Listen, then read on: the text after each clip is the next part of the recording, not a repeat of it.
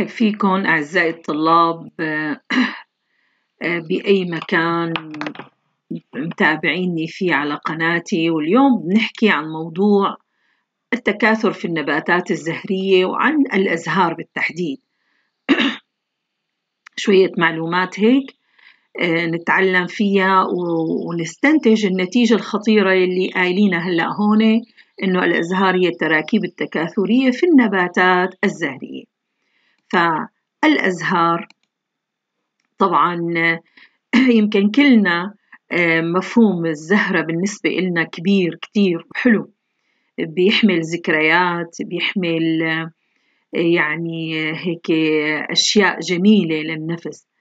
كلياتنا يمكن قدمنا لوالدتنا أو لصديقنا صديقتنا أزهار وكان هو تعبير عن حب وامتنان و و.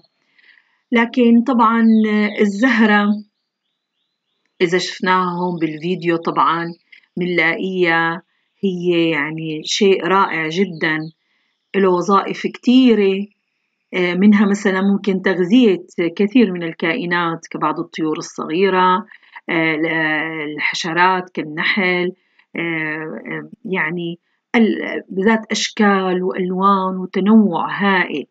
لكن بالنهاية كل الأزهار هي من ناحية التكاثر من ناحية العلم هي الجهاز التكاثري الذكري والأنثوي في هذه النباتات الزهرية. إذا الزهرة في النهاية ستتحول إلى ثمرة تحوي بداخلها بذرة تؤمن هذه البذرة نمو النبات في مكان بعيد عن النبات الأصل آه، وبالتالي آه، يؤمن تؤمن هذه البذرة آه، تكاثر النبات يعني إيجاد شجرة جديدة بعيدة عن الشجرة الأم لأن الثمرة تؤمن لها لهذه البذرة الانتشار. الحماية أولا ومن ثم الانتشار. خلال المعلومات البسيطة اللي حنحكيها عن الزهرة سنستنتج هذه الفكرة المهمة جدا إنه الزهرة هي جهاز التكاثر. بالبداية آه، زهرة لنكتشف بنيتها أو أقسامها. الميسم القلم المتك الخيط السدات البتلات البويضة المبيض السبلات الكربلي. مصطلحات قرأناها بسرعة لكن إذا رجعنا هلأ نعيدهم من دون ما يكون موجود عنا أي شي منهم هدلون. فعندي إذا أنا جيت هيك بسرعة أحكي بلاقي إنه الزهرة هي أعضاء للحماية أعضاء للدعامة وأعضاء آه، للتكاثر. هي السدات جهاز التكاثر الذكري والكربلة أو نحن بنسميها أيضا أحيانا المدقة أو الخباء. كل هدول التسميات لشيء واحد هو جهاز التكاثر الأنثوي حيث يحوي بداخله البويضة والسدات التي ستنتج حبات الطلع التي بالنهاية هي طبعا آه، تعمل على آه، إنتاج أعراس ذكرية فيما بعد أو أمشاج الذكرية تستعمل تعابير عديدة لوصف الزهرة كالألوان الرائحة أيضا تعبر عن الزهرة الشكل التركيب بعضها أزهار ذكرية وأزهار أنثوية. لكن يعني جميعها لها علاقة مباشرة بعملية التكاثر. خلينا نفصل أكثر ونقول إنه الأزهار فيها التراكيب الزهرية التراكيب التكاثر الذكرية يلي هن الخيط والمتك أو الخيط والمئبر يلي هن بيمثلوا السدات تمام؟ تنتج السداء ينتج المتك أو المئبر بانقسامات منصفة ينتج حبوب اللقاح أو بنسميها أيضا حبات الطلع. آه، يوجد أيضا جهاز التكاثر الأنثوي اللي هو الكربلي عضو التكاثر الأنثوي. كل كربلة هي عبارة عن ميسم وقلم ومبيض في المبيض توجد البويضات التي تحوي العروس المؤنثة تمام؟ هذه العروس المؤنثة عندما يتم تلقيحها تتحول إلى بيضة ملقحة تنتج فيما بعد البذرة التي تحوي الرشيم أو جنين النبات.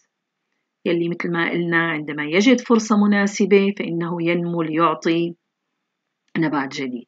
طبعا اللي عم نشاهده بالفيديو هو ملخص لكل شيء حكيناه إنه الزهرة هي أعضاء دعامة هن التويج الذي تمثله البتلات الوريقات الملونة في النبات والسبلات اللي هن الكأس. طبعا هدول بيمثلوا أعضاء الدعامة للزهرة.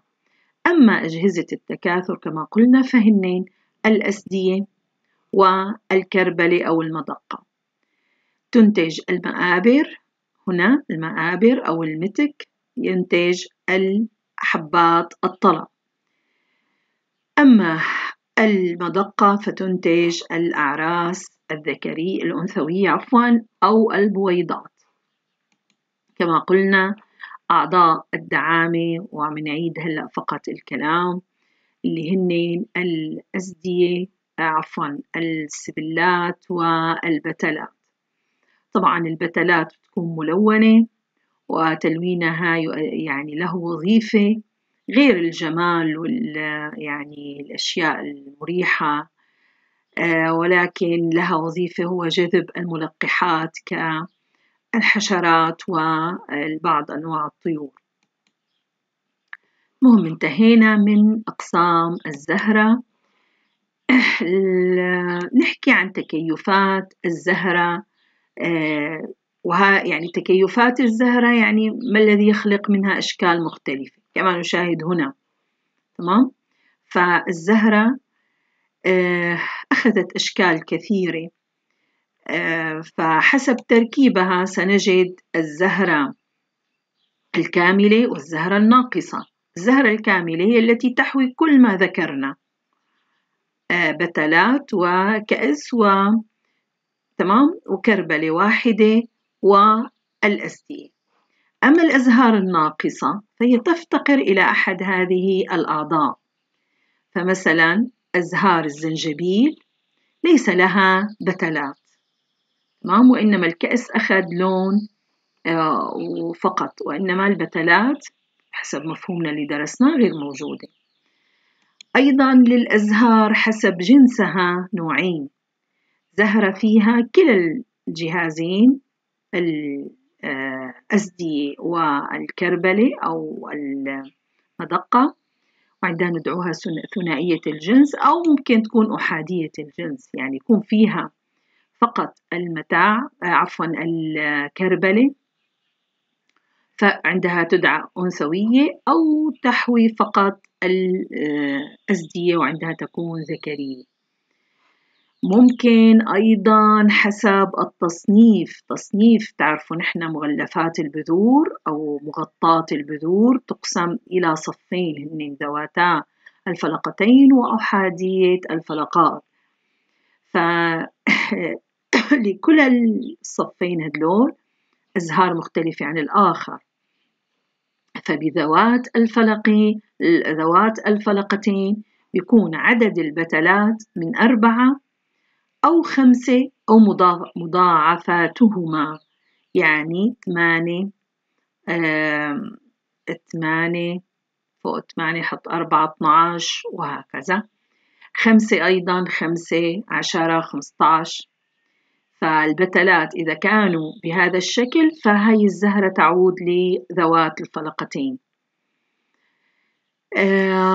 أيضا بيكون كمان السبلات والكرابل أيضا لهم نفس يعني الرقم.